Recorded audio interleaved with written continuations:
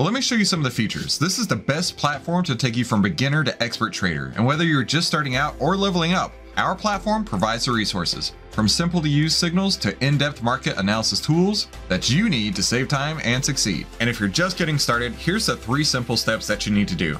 Number one, go to the watch list. Number two, check out the stock and ETF details. And number three, add your favorites and start getting buy or sell notifications right on your screen. So now you're ready to supercharge your trading. Let me show you all the powerful features to guard your downside and to grow aggressively. Let's start with the buy and sell signals. OVTLYR's buy and sell signals adapt to changing market conditions. During extended trends, a signal may remain active for prolonged periods.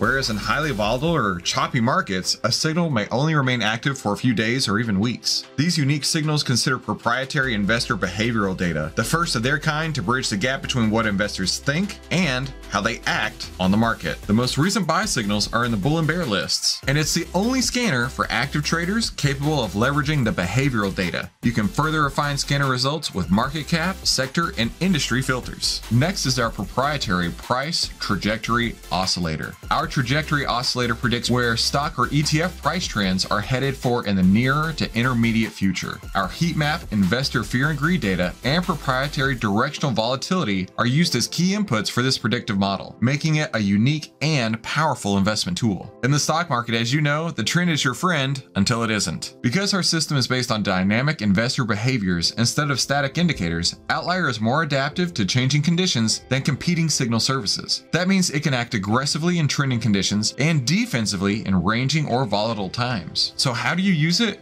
First, you identify trends in investor fear and greed based upon its up or down direction. Next, use it in tandem with the heat map data in order to identify more opportunities. And lastly, use it as an overlay on the daily candlestick charts for ease of reference. So next is the heat map chart. And the proprietary heat map chart for stocks and ETFs represents pockets of irrational investor fear and greed represented by the colors red and green respectively on a daily basis. Now the way you get to that is you come up to this button right here and that switches from the candlestick view to the heat map view. So how do you use it? It shows buying opportunities that frequently occur in the red zones, selling opportunities that frequently occur in the green zones, and the darker the color gradient, the stronger the buy or sell opportunity. The heat map is overlaid on a daily close price for quick reference. Next, let's take a look at the down cycle and recovery indicators. These indicators provide a warning to major market drawdowns followed by a recovery period that can provide excellent opportunities to re-enter the market. These indicators are applied at the sector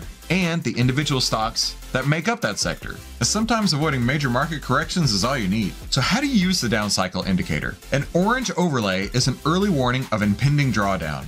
A red overlay is a severe warning of a very near-term drawdown. Avoid drawdowns by reducing risk during these periods. A green overlay is an indicator of an ensuing recovery, and a risk on strategy is definitely more appropriate during these events. A sector or an index is made up of companies grouped together by similarities, and the constituent map provides a quick view of daily fear and greed scores arranged from least to greatest. So how do you use it? Because sectors are groups of similar companies, the constituent map tells the behind the scenes story of what's causing the sector to trend or reverse course. Much like watching the tide come in or go out over time, excessive fear or greed among companies accumulates, leading to near-term trend reversals.